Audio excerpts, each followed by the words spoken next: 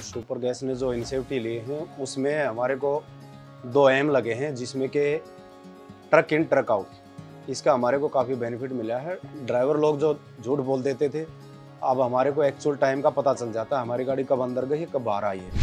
Second जो है, उसमें एफएस के ऊपर 20 परसेंट एक्स्ट्रा जो स्टॉक हमारे को मिलता है, उसका भी हमारे को काफ़ी बेनिफिट मिला है कस्टमर पकड़ने में या काफ़ी बेनिफिशियल रहा है हमारे लिए।